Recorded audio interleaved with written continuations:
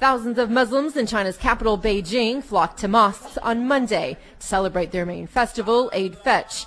Prayers and preaching by imams started in the early morning. Eid al-Fitr holiday is one of the main festivals of Muslims that signals the end of the Muslim holy month of Ramadan, a season of fasting and spiritual reflection. The Eid holiday is one of the three main holidays for Muslims. This is the happiest day for us after a whole month of observing Ramadan.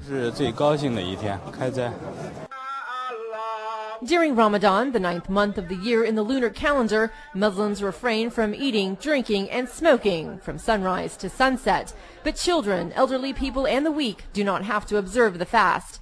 Ma Zhongjie, vice president of the China Islamic Association, says the government has been supportive of the holiday. 像政府官员也好，汉族的学者也好。 all the government officials and Han people congratulated us and showed their respects to us. There are more than 80 mosques in Beijing, and lots of people have come out to pray.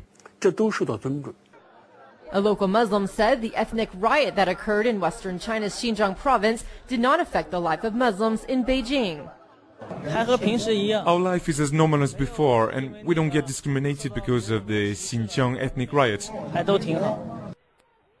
Violent street battles killed nearly 200 people in the deadliest ethnic unrest that hit China's volatile western Xinjiang region in July.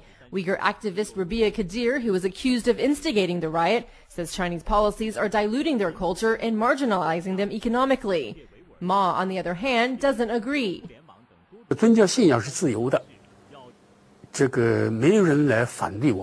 we have the policy of freedom of religious belief. The government supports our activities and there aren't any challenges for Chinese Muslims. One challenge maybe is that some Muslims are poor and can't get enough food. That's one challenge. China now has 21 million Muslims, half being of the Hui minority group.